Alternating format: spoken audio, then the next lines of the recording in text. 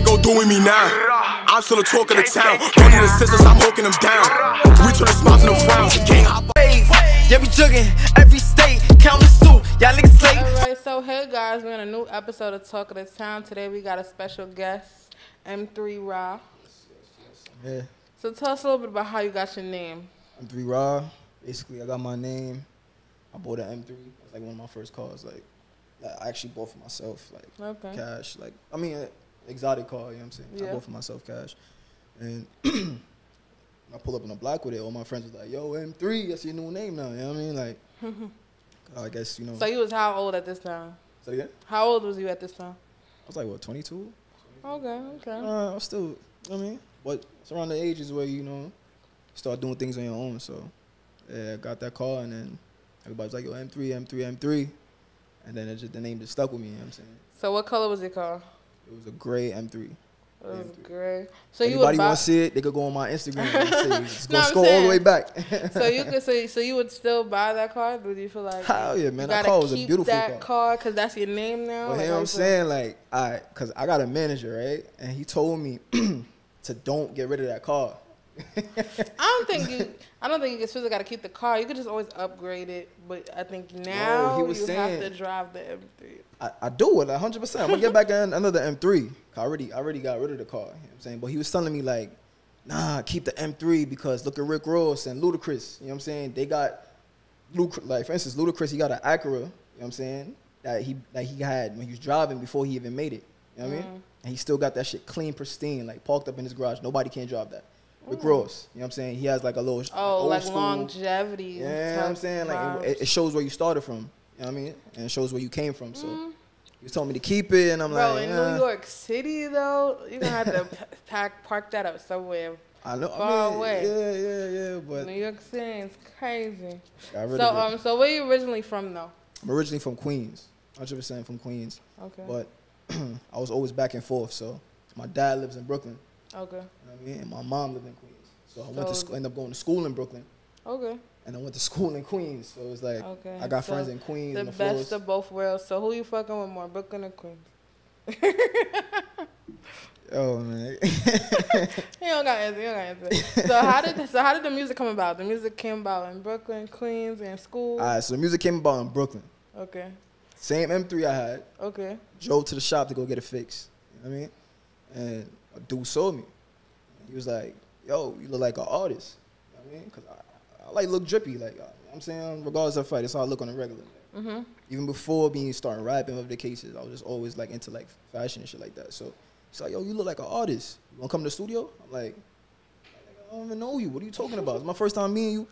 And it wasn't the mechanic I went to. It was the, like, you know what I'm saying? It was the extras that be it was the guy that owns the place. You know Oh, what I'm saying? okay, Like, okay. bro, I don't know you, bro. Like, So you you know dubbed it. I dubbed it the first day. Okay. You know what I mean? So he persistent. He asked again. He was persistent. So I came back the next day to get it fixed. You know what I mean? Again. You think he did that on purpose? Uh, yeah, yeah, he had his eye on me. He had his eye on me from since the first day he seen me. You know what I'm saying? Mm-hmm.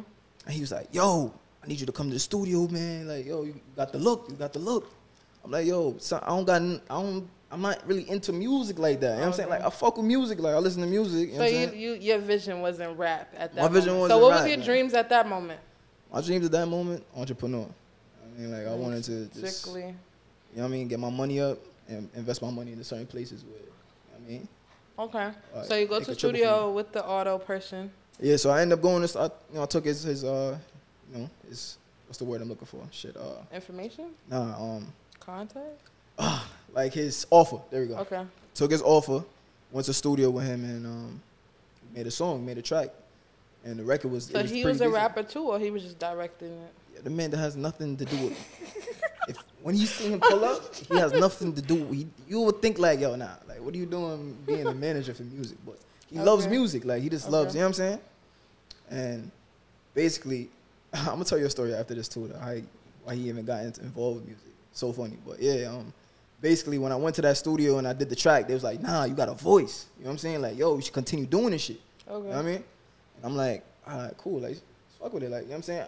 It's my first time in the booth. You know, you're, you're a little shaky the first day. You know Yeah. I mean? And as you go along, I actually found love for it. You know what I mean? So that's why I'm still doing it now today. All right. So how, about how long ago was that though? That was literally last year this time. Last year this time. Yeah, okay, so you this about to be a year solid. Yeah. So how do you feel? How did you feel after your first studio session though? Like, My first studio was you session. like, mm, I'm getting the hang of this, or you was on some, eh? I'm like, I'm like, shit during the pandemic, so I'm like, yo, fuck it, it's something to do. Like, you know what I'm saying, where I'm, you know, when I'm bored, so I'm like, yo, let's go to the studio. He's like, ah, let's go. And as I kept going, I found love for it. You know what Okay. Did you think you would get to where you are now though? I um, hundred percent, because even after that day, he was like, yo, like, don't worry, man. He like, I- got you. I got you, like, you know what I'm saying? Like, we gonna make it type shit, like, you know what I'm saying? So I'm like, all right, cool. And every every day since that day, he been telling me, like, yo, don't worry, man. Next year's your year, or, you know what I'm saying? Like, a few So months, don't worry, I got you. always got been super supportive. Yeah, mad supportive, man. All right. So, um, the first song you made, you you dropped that, or you was like practicing a little bit more. Like, what was your first song you released? All right, the first two songs that got released, Mhm. those are songs I was just playing around with, like, you know what I'm saying? Okay. And, and, like, the engineers, they kind of like, it's a little problem with that, you know what I'm saying, in the background. But I'm trying to get them songs took it down, because it's, it's, not, it's not even mixed properly. It's not, Okay. you know what I mean? It's not even like, you know what I'm saying? Like, So you've been learning as you're going for sure. Yeah, hundred percent. I've been learning as I've been going. But the actual song that I really dropped, like hundred percent, the song called Yeti. I mean, and that's up on every platform right now, Yep. All streaming platforms. all streaming platforms. So was you already writing? Like, so was they freestyling? Like, how was your, how's your writing process? I should say. I write before I go to the studio. Okay. I write before I go to the studio, and I write in the studio. You know what I'm saying? Sometimes if I like, if I'm, like for instance, like way I'm, I, I deal with my studio process is I, I got to make sure I'm prepared when I go to the studio. 'cause I don't like wasting time. You know I mean, that's one Mhm. thing about me. It's, it's the biggest pet peeve I ever had. Like I hate wasting time. So I go to the studio. I can't be in there smoking and drinking for like a good ten hours. In the last two hours, I'm like, yeah, yeah, yeah, let's go jump in the booth. Like you know what I'm saying, I got to be productive. If I'm not productive, then you know what I mean. Like yeah, if I'm not productive, I, don't, I feel like feel like a waste. You know what I mean? So I write before I go in the studio, and then after that, I'll fuck around and freestyle. You know what I mean, freestyle here and there and see what comes up. Cause you never Okay. know. That's when the best music comes to life. Okay. So who's who's some artists that inspire you though? Like inspire your sound, I guess. Um, most definitely. Most definitely. Before I started doing music, I was into like '90s music, a lot of '90s music. So I would say like Mobb Deep, from old school. Talking Okay. about old school right now. Mobb Deep, 50. Um, The youngins don't know about that, but feel me? I mean, some of them know about it. A little Um, bit, a little bit. Biggie, who know? Fifty Cent, Biggie. Yeah. um, Jada, Jadakiss, and the shit that he did at the week. Yeah, proved, like, you know what I'm saying?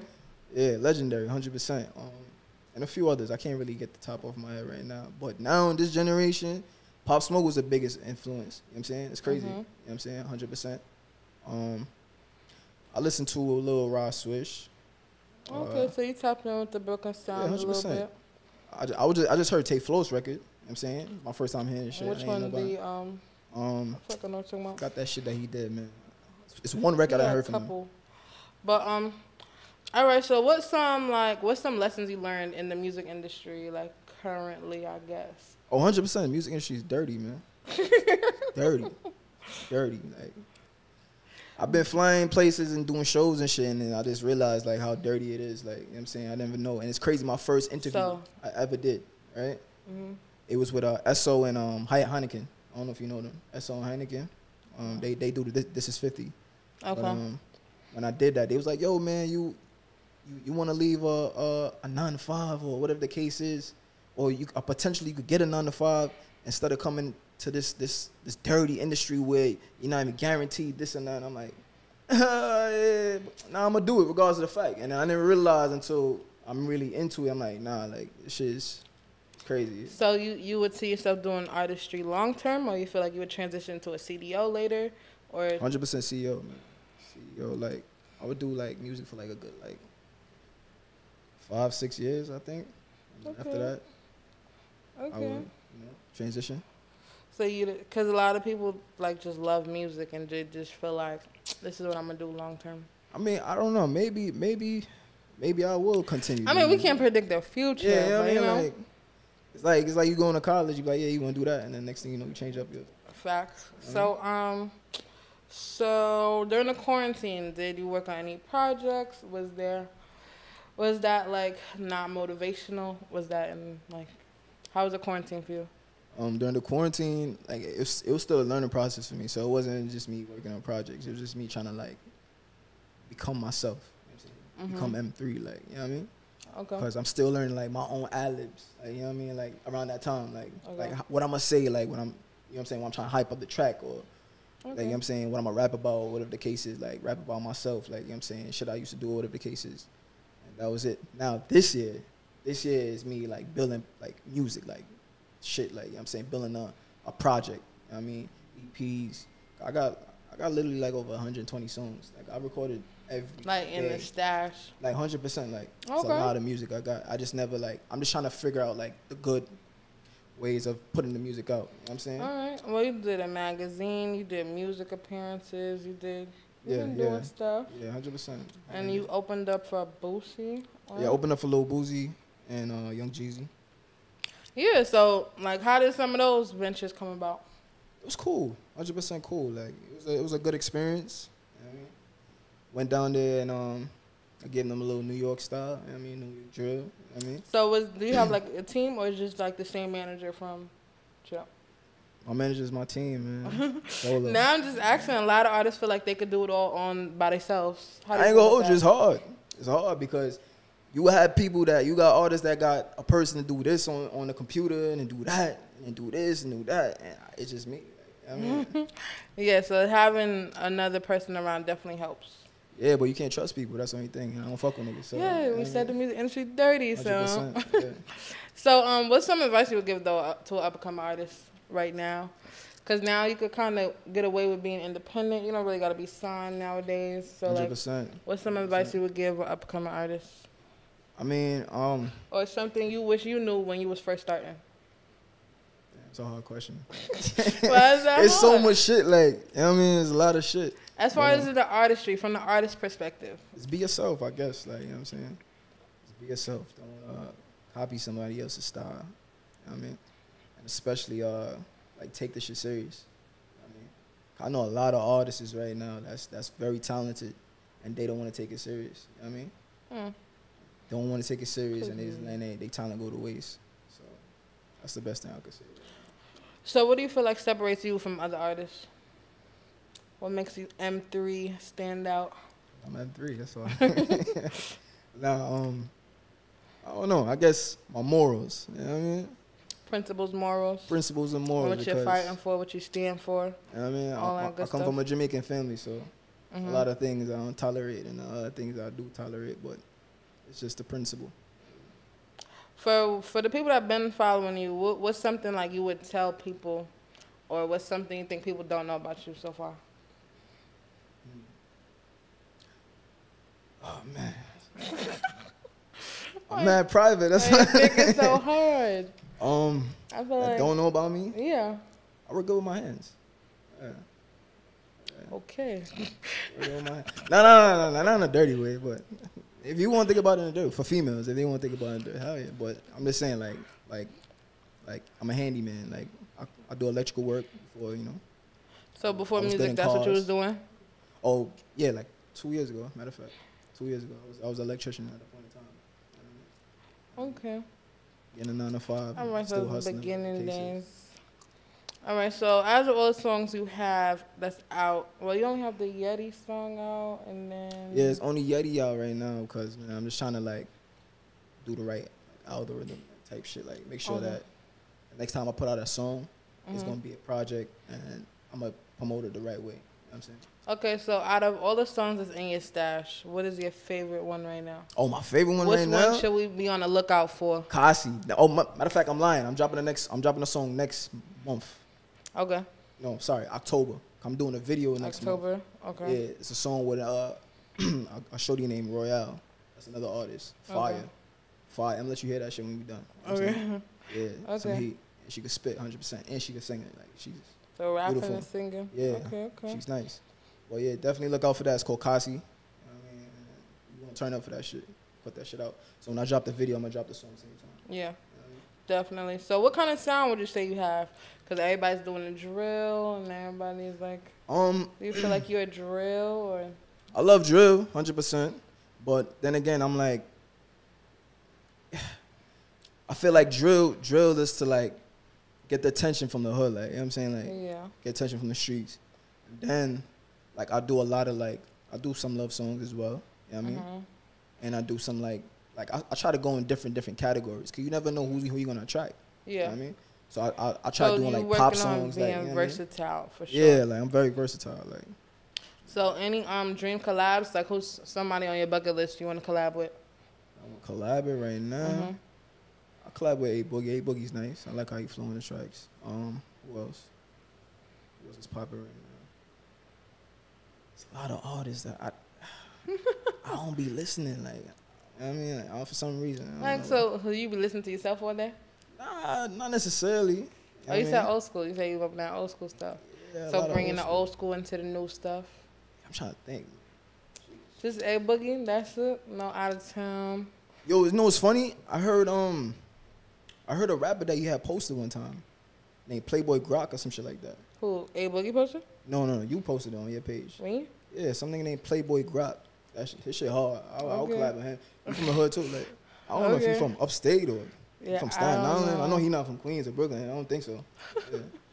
I don't think so, but Okay. I fuck with him too. Whoever that was. See, promo works, guys. Yeah. But um, so what's so what's next for you? What's next? Casa song. Um, the Kasi song. I'm trying to do some more shows. I think I'm gonna open up for um, some girl names, man. I forgot their names, man. What? Two girls from Florida, Miami, City Girls. City Girls. There you go. Please do not say that on camera. Oh my god. That's crazy. I don't listen to them. I'm sorry. I'm gonna be honest. I'm I'm very blunt. I don't care. Like, you know what I'm saying? Yo. But it is what it is. I'm old enough for them, and uh, He said the two girls from Florida. Wow. they ain't from Miami. I'm looking right. Yes, they are, but damn. I don't like. Sorry. It is what it is, but, But um, so the Casa song. yeah, Kasi song most definitely. That shit gonna be lit. It's gonna be a problem when that shit drop. Hundred percent. All right. So where should people find you? Where can they tap into your music? Tell the camera. Tell that camera. Uh, M3 underscore Rah. Tell you can look me up Instagram. Um, anytime I drop music, it's on all streaming platforms, regardless of the fact. So once you type in M3 Rah, you know what I'm saying it's supposed to pop up. Um, you can look at me at Twitter, Facebook, I mean, and TikTok. So, Oh yeah, all these platforms. TikTok. All right, Liddy.